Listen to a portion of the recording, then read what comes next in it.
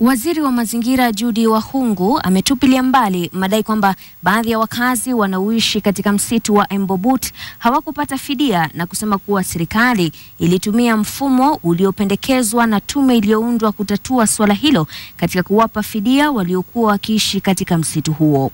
Aliongeza kuwa kwa sasa serikali iko mbioni kuweka mikakati ya kuhifadhi chemichemi za maji katika msitu huo. Some did claim that they were not compensated. But then, once we verified that they were, because the records are there, once we verified that they were, then that has no longer been uh, uh, an, an issue.